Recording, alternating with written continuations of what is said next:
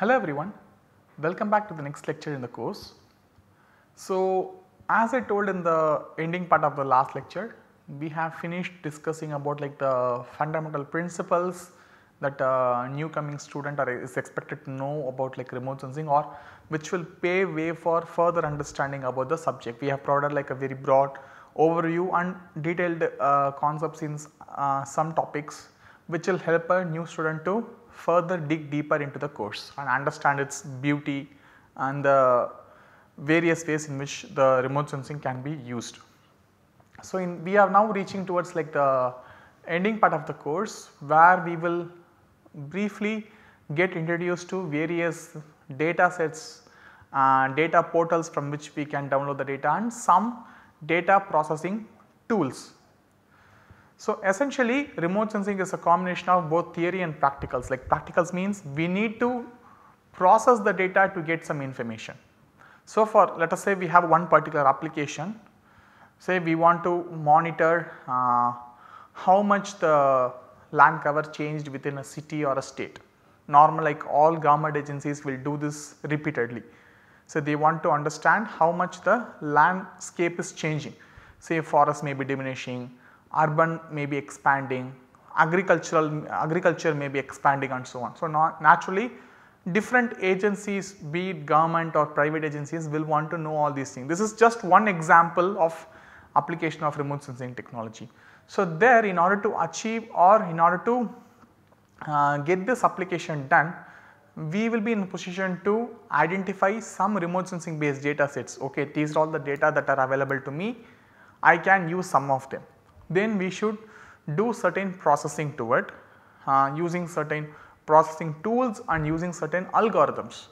After that only we will be able to achieve our application. So, essentially the success of remote sensing a major part of it lies in identifying what data to use and understanding what and all processing we should do for ultimately achieving our objectives. So, that is where uh, that is what we are going to see in the starting from this lecture and then the coming few lectures.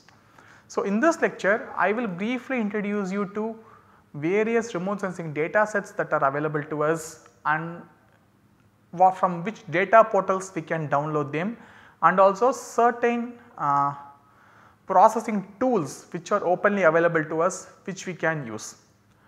This is not an exhaustive list, it is near to impossible for, uh, for anyone to discuss all the data sets available from remote sensing uh, systems, the various algorithms, various processing tools and various data portals. It is next to impossible because it is so enormous the amount of data that we get, the variety of data that we get and all. I will just briefly introduce to some of the commonly used data sets, some of the commonly used uh, data portals and two of the openly and publicly available data processing tool which we can use. Here we will not go in detail about every anything. I will not tell what the data characteristics are, I will uh, we will not discuss uh, how to process the data, we will not discuss about any softwares and all, but we will get introduced to, to, to the concepts and those who are really interested can using the introduction provided and using like the uh, web links and other resources provided you can always learn on your own and expand your knowledge in this particular topic. First we will discuss about remote sensing data sets. Actually the current time period in which we are living can be considered as the golden era for earth observation. We can call it as golden era because the amount of information or the amount of data and the variety of data that we get is uh, what to say unimaginable. We are generating like uh, petabytes of data every day like come uh, taking into account like all the different satellite systems around the globe. Most of the data sets that we may need for our application are available publicly uh, unless we want like really specific data like a very high spatial resolution data or um, particular for a particular project the data should be of particular unless we are like extremely specific about data characteristic most of the data sets for our applications are available in the open domain and also like the processing tools are also available in the open domain. We need not uh, go towards uh, or we need not buy expensive commercial tools. It is useful and not like uh, discounting any commercial tools, but uh, what I want to intend is to share tell is like uh, the data sets, the processing tools and also like the knowledge for us to understand okay this is the data I need this these are all the processing I should do and this is the tool I should do. So, all this even for getting this knowledge the amount of information uh, we need is all available publicly in the uh, public domain. So, that is why I said this is like a golden era for remote sensing or earth observation as a whole. So, here uh, what we are going to see is like some of the few commonly used remote sensing data sets or common publicly available remote sensing data sets which has the potential of uh, being used in uh, large number of applications. First maybe we should know is like the levels of data processing. So, whenever a satellite or a sensor acquires data, the data is not directly transferred to the user. The data from the satellite will be transferred to a ground station and the ground station will receive it. Uh, the received information will not only have remote sensing data, but all other information about satellite orbital characteristics, satellites health characteristics, the sensor how they are performing, all those important technical and sensitive information will be present. So, naturally the space agencies or uh, will collect this data, will process them to various different levels and then it will provide us. And also the data about the earth surface coming in from the satellite may contain lot of errors uh, like errors in terms of radiometric quality, errors in terms of geometric quality. So, all these things has to be corrected before being used uh, by the end user that is one thing. And also uh, in between the lectures we would have discussed about calibration like there should always be a correlation or relationship between what a satellite measures and what we intend to measure right. Uh, satellite measures is radiance. So, but what we will be getting in the image is kind of like DN. So, how to convert it what we should be able to properly quantify what is being measured from the data contained within the image. There should be a relationship all those calibration may be applied only after receiving the data they may not be applied with from the satellite. A satellite will simply observe the data and may transit transmit it back to the ground station. The ground station uh, the systems there will apply this calibration coefficients and those equations that will convert the data to more meaningful form. So, the data uh, directly coming from a satellite will be of little use to the end users. Okay. So, it has to undergo several levels of processing and normally uh, each agency space agency which provides data will do certain level of processing to the data before it is being delivered to the user. First we will understand the um, basic levels of data processing. First is level 0 or the raw data from satellite sensor. Whatever is coming in from the satellite people call it as level 0. It is normally not, uh, it, it will normally be shared with the user, it will not be shared, okay sorry. Because as I told you it will contain not only the data about earth, but the data itself may, may not be really useful. It has to undergo various uh, error corrections, calibration and so on. Plus it may also contain a lot of other information about satellites, spacecraft itself, many different things. So, normally level 0 data will not be shared with users, it, it is the raw data received by the satellite. Then the useful part of the data uh, from a user's perspective will be removed, it will be undergoing some sort of like radiometric calibration, geometry calibration, error correction and so on. Then we will have level 1 data. So, a level 1 data is basically like the first level of useful information that a user can get.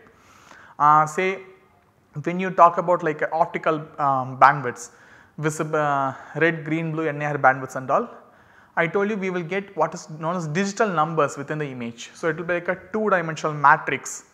Uh, each band will be like 1 1 matrix. Say you, let us for example let us say our system has 5 bands okay uh, blue, green, red, uh, NIR and SWIR 5 bands are there. So, let us say it is covering an area of about like 185 kilometers by 185 kilometers one image at a resolution of 30 meters. So, this is an example for like Landsat system. You will have like multiple 30 meter pixels and each band you will have one such kind of like a matrix. So, you can think it in terms of like a 2D matrix right uh, rows and arrange in terms of like rows and columns uh, different different latitudes different different longitudes okay along the columns. So, each band will produce like one 2D matrix array. So, you will have 5 matrix you can think it in terms of that like. so, this, this particular information is the data remote sensing data and each pixel will contain the DN number. So, the output in level 1 will be this DN. You will have 5 different images each image will be containing a large number of pixels each one having like a DN value.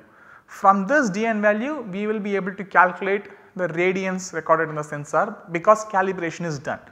So, the first level of useful product that we may get is level 1. So, within this level 1 there can be several levels level 1A, 1B, 1C and all which varies with different different agencies. There are no hard and fast rule how many different sub levels one can go. Certain agencies say 1A, 1B, 1C, certain agency may stop only at 1A or 1B and so on.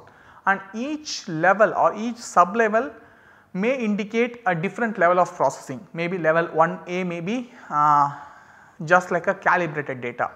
Level 1B can be calibrated and geometrically uh, calibrated and radiometrically corrected data. Level 1C may be calibrated radiometrically as well as geometrically corrected data and so on. So, there are like plenty of different sub levels that exist.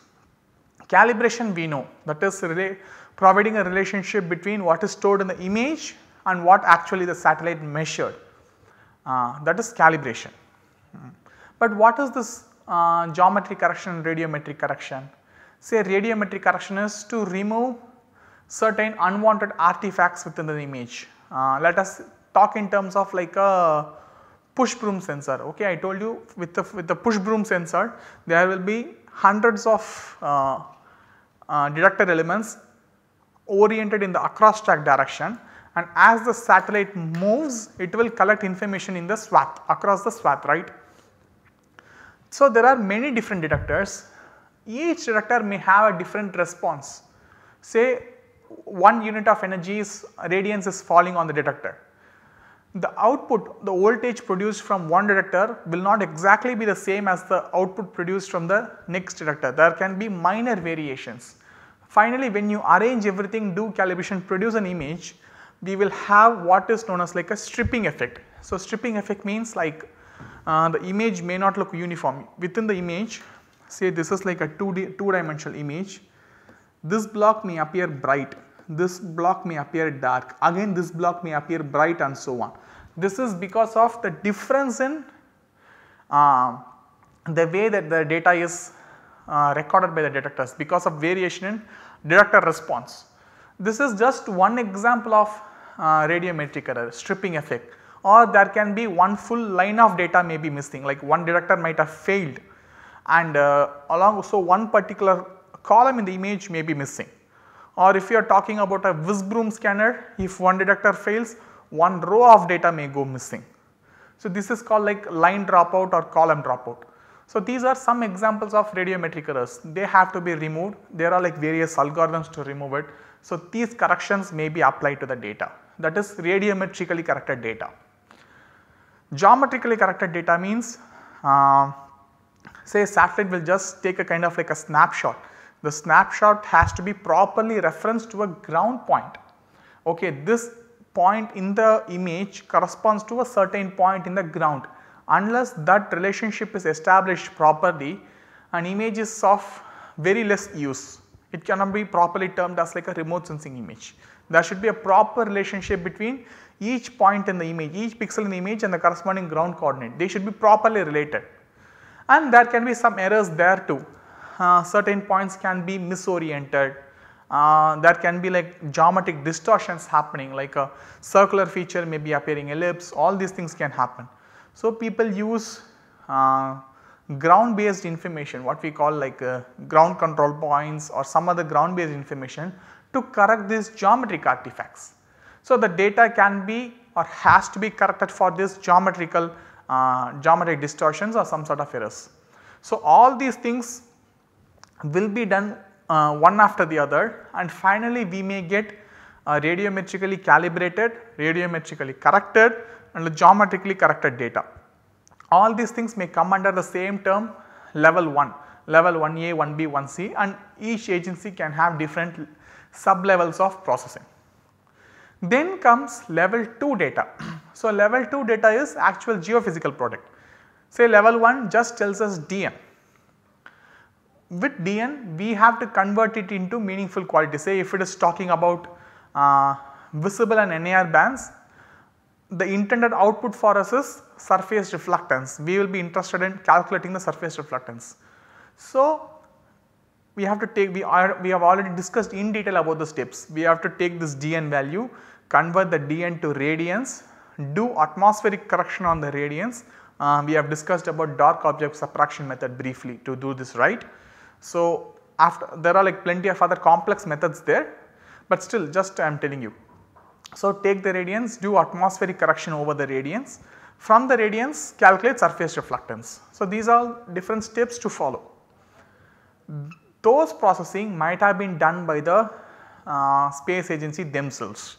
So, level 2 basically talks about geophysical product. If it is in visible domain, we will get uh, surface reflectance, visible or NIR or SWIR domain. If it is thermal infrared, we may get the land surface temperature and emissivity. Uh, if it is passive microwave, then level 1 data may contain brightness temperature because essentially what the passive microwave sensor measures is brightness temperature, right. So, from the brightness temp once we do like the we will get the output from the antenna if you apply all the calibration to it we will get brightness temperature calibrated brightness temperature that is level 1.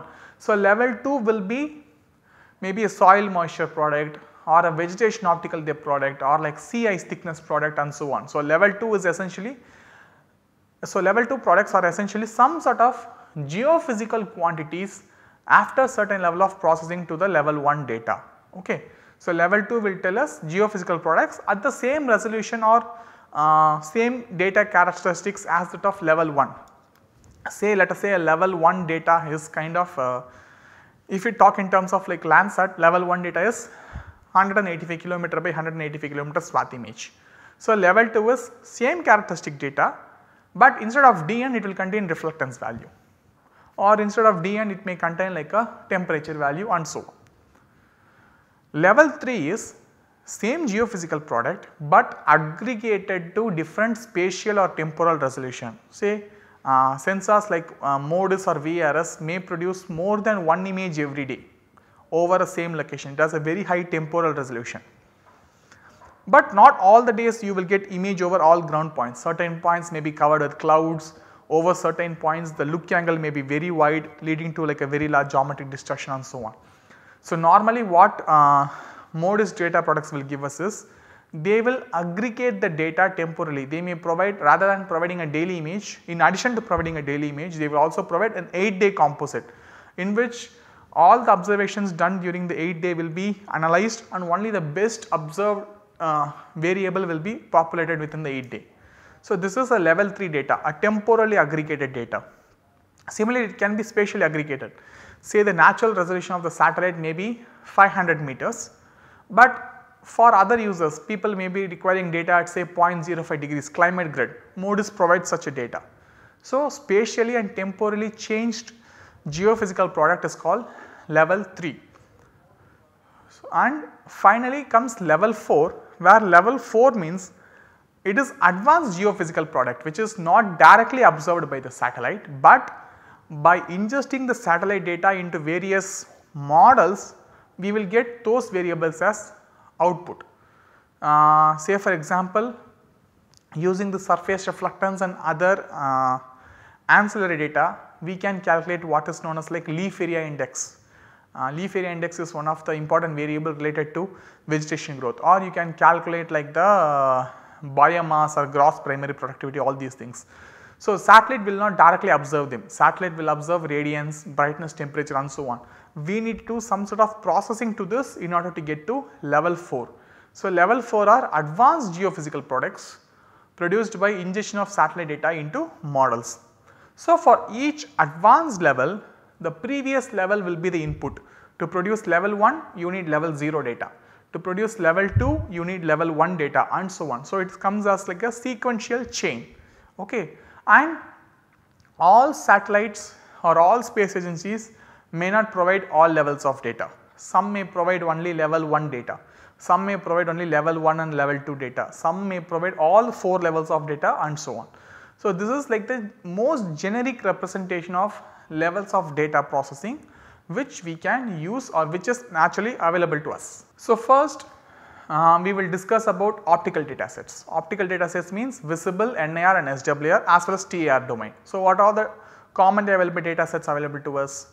So, we can use data from Landsat series of satellites that is one of the most widely used uh, optical data sets starting from visible to thermal infrared wavelengths. Then the recently launched Sentinel-2 is again like a very good source of optical data sets. Sentinel-3 has its uh, ocean color uh, system, ocean color sensor and uh, sea and land temperature surface and all these things are example for uh, optical sensors which provides us data in visible NIR, SWIR and TIR domains.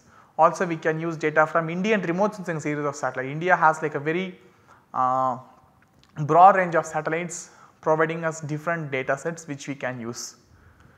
So first of all based on application we should understand which data to use. So let us say we have identified certain optical data. I am going to use uh, data from uh, Indian remote sensing series of satellite or I am going to use data from Landsat series of satellite. If we have decided that then we should properly understand uh, what data I should download. Uh, whether to download level 0, level 1, not level 0 sorry, level 1, level 2, level 3, I should analyze and understand which is needed to us. After understanding this we should download the data. So, when we, when we, when we, need to download the data we should go to the data portal and download it. Each satellite may have its own spatial referencing scheme to refer to one data. Say I want image acquired over Mumbai. Uh, so, I can just go to some uh, data portal and search for Mumbai and download the data. When data comes, so Mumbai is like a region and Mumbai city may be falling within one full image like a small portion of one full image or uh, small portion divided into 2 or 3 image depending on the satellite data collection how it happens. So, I need to download. Whenever an image downloads for me we need we will have kind of like a uh, referencing scheme. Ok if your location is this then the data about that particular location will be covered in this particular image. Each image or each uh, data is provided like a proper tag for us to identify it. So, that particular geographical tag is what we call referencing scheme. There are like plenty of referencing schemes are there for example path row referencing scheme or tile based referencing scheme and so on. So, what is a path based referencing scheme? This is widely used for uh, Landsat series of satellites and uh, Indian remote sensing series of satellites. Like I told you satellite will go in kind of like this sort of orbit. I am sorry this is like a widely skewed. So, this sort of orbit. So, this is like the ground track of satellite nadir, nadir ground track ok. So, if you combine this along with the swath width you will uh, the satellite will collect certain area of ground. See as the satellite goes along one orbit it will be continuously collecting image within the swath right. So, normally what this uh, Landsat and IRS series will do is along each orbit is given a name like I told you after a certain number of orbits the uh, ground track will repeat right.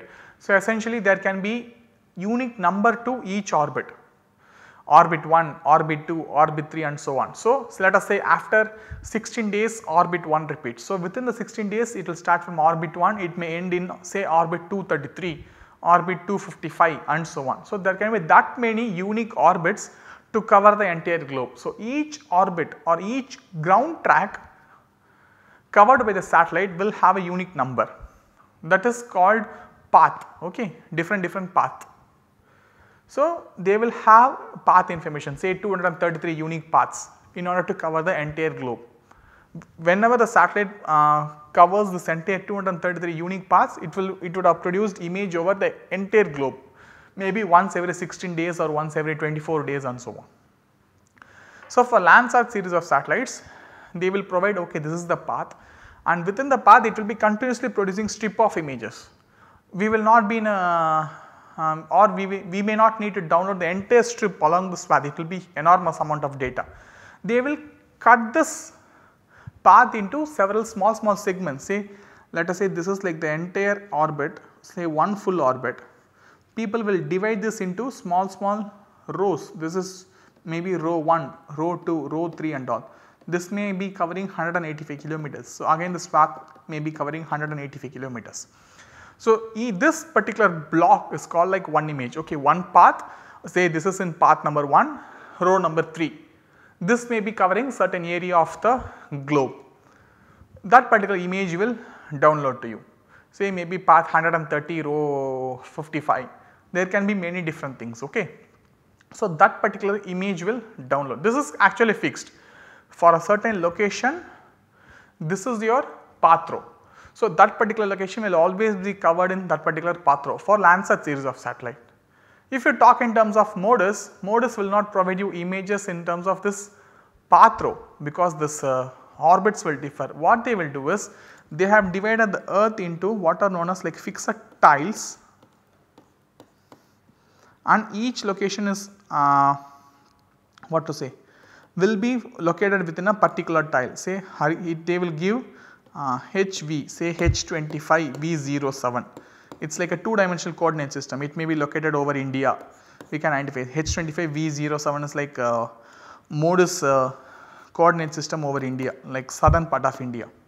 Like this they will provide. Okay this particular part of the globe is covered in this tile so, as MODIS sensor has a very wide scanning angle, same point on the globe can be covered from different different orbits, right. So, from whatever orbit the ground point is covered, the data will be like processed and that will be populated onto this grid. So, we will not be knowing from which, which orbit it was imaged or from which scan angle it was imaged, the information will be there but naturally when we look at the image we will not know, we have to dig deeper into the metadata. So, the swath information will be like uh, removed everything will be converted into this kind of grid. So, why I am telling all these things is each satellite system may follow their own uh, data referencing scheme and with this data referencing scheme we may be download we may be able to download the data over the part of the globe where we need it. So, this varies with satellite. So, whenever we download satellite from Landsat series of satellite or IRS series of satellite, we may get in image with uh, path row system. Okay, this path uh, 135 row 52 like this we may download or when we download like MODIS image we may download it as in terms of like H25V07 in HV uh, in like a horizontal tile system. Some may provide like entire global image uh, say MODIS level 3 data, CMG data, SMAP level 3 data all these things will provide like a global image with all the satellite observations available within that particular thing everything is different things are possible. So, when we search for data we should know these things to certain extent we can always search with the uh, ground location we need say if I need uh, data over Mumbai I can just go type search for Mumbai and whatever data available over Mumbai will be downloaded but uh, this knowing this sort of referencing scheme available for each satellite may actually help us. So, just one example of this multi-level data processing say there is like a sensor called VIIRS uh, visible infrared imaging radiometric suite uh, I guess that is the name for that is where the ab ab abbreviation stands. It provides like data in various levels actually this VIIRS sensor and MODIS sensor all combined together gives us uh, hundreds of different data products okay.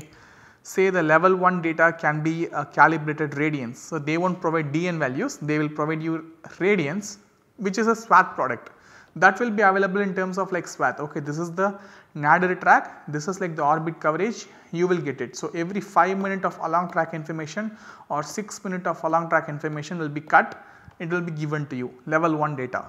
Level 2 product may be a surface reflectance product in a sinusoidal grid say H25V07 like that right that is one. So, level 3 may be an 8 day composite surface reflectance product. So, level 4 may be LIA product uh, which ingested this surface reflectance data and other information. So, this is just one example for uh, how data from an optical uh, remote sensing sensor like optical I repeatedly mean uh, visible NIR, SWIR and TIR bandwidths. Okay.